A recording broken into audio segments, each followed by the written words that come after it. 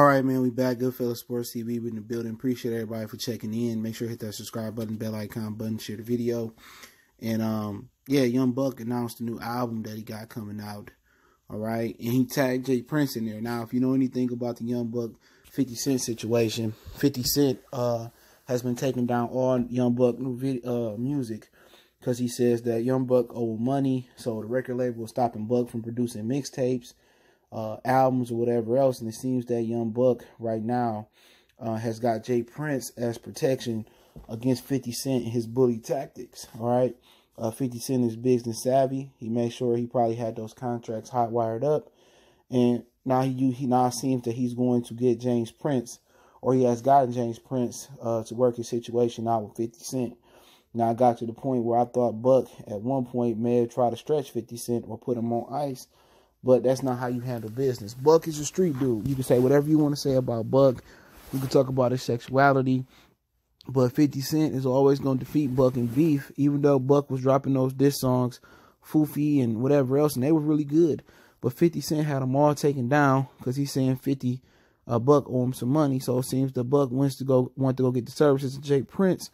And people laugh and people say J. Prince, James Prince, this old country bumpkin. But James Prince got reach. And when people in New York said, well, James Prince, he ain't got no reach in New York, or James Prince, he ain't gonna do nothing up here. But if you really look at the history of New York, look at all them dudes that came from Jamaica and dudes that came from like North Carolina, Alabama, and took over. Bumpy Johnson, Frank Lucas, Pappy Mason. All them dude, all them dudes was from the South, and they came over and they ruled over a certain borough of the New or the city of New York. So they playing all tough, like New York so tough, but they they got like the lowest murder rate right now. You know, they got the lowest murder rate. Most of the murder rate is probably coming from the borough of the Bronx. Okay, they playing so tough, but they lineage of their city is nothing but snitches.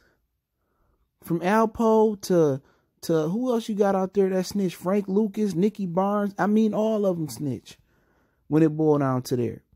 So I'm not knocking it. Love the city New York got roots there in the Bronx, but at the same time, with uh, you know, with James Prince, man. James Princeton did some notorious things, man. Todd Floyd up in a, in a, in a hotel room allegedly and beat his team. You know, James Prince got somewhat of a rep, and you know, right now, Young Buck's trying to employ employ James Prince to to be his muscle against 50 Cent. But it's not just muscle. You gotta know you gotta have somebody to know the business.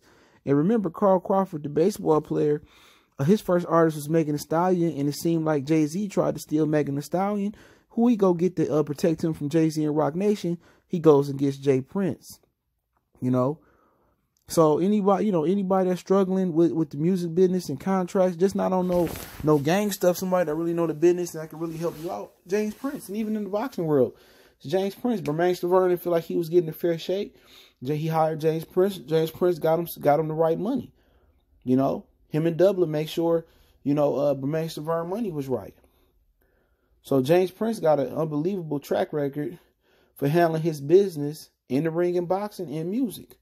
So we'll see how this go, man. Um, I don't know if it's already hashed out or was him tagging James Prince on Instagram uh, a tactic to, to scare 50 Cent uh, business wise. So I linked link the article in the description, but I'm interested to see how it play out because Buck Music was jamming, man.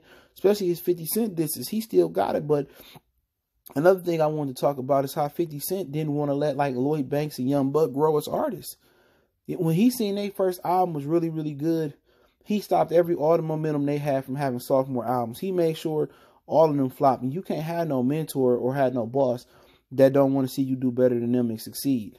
And that's one of the best, that's one of the great reasons why the game should have left G Unit because he could have never reached his potential working under 50 Cent because 50 Cent stunted all that growth, except for Tony Yayo because he wasn't that good. But Buck and Lloyd Banks' first two albums straight out of Cashville and um uh, uh, Hunger for More was it? You know, uh those were great albums. You know, but you can't have you can't be signing nobody or your mentor can't be nobody that don't want to see you do better than them. And that's the problem that Floyd fighters having under him. Floyd and 50 so similar, that's why they bump, they bump heads. But hey, it's Goodfellas Sports TV. Don't forget to check out our music entertainment playlist. Don't forget me on Facebook, Instagram, Twitter. I link the article to the description. Reach out to the email if you got business question, query, sponsorship, or video requests. All my links in the description. Appreciate the love, support. One time for the one time. It's your boy CJ Goodfella, Goodfellas Sports TV. We gone.